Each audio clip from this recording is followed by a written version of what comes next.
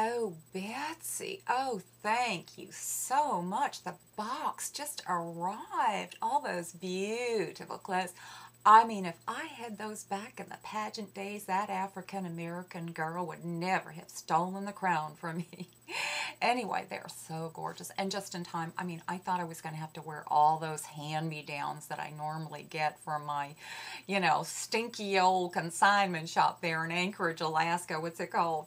Out of the closet. And you know, it just kind of gives me the creeps whenever I look at the title on that sign outside their store reminds me of all those gay sinners. It really makes me feel bad. But I just, you know, I just shop and pray at the same time.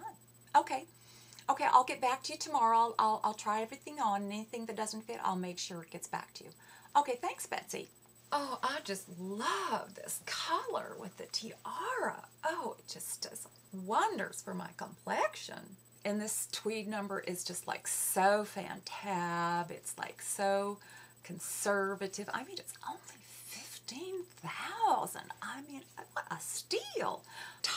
Is just going to love this one because it's a zipper and it goes up and down. Oh, and he used to love to play with my zipper when we were back in high school. Oh gosh, it's just going to be like back in high school. oh, I just love this one. And the light just kind of bounces off of it.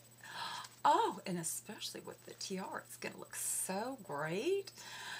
And I'm bound and determined if I'm going to let another African American steal a crown from me, no way. I'm going to be dressed for success.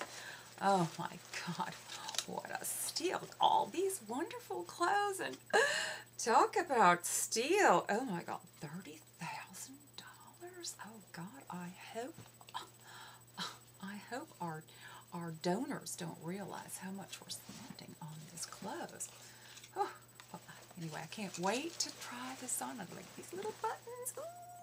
Oh, this is so cute. I just love this. This is really great. I think that, oh, I love these little bubble sleeves. Is that?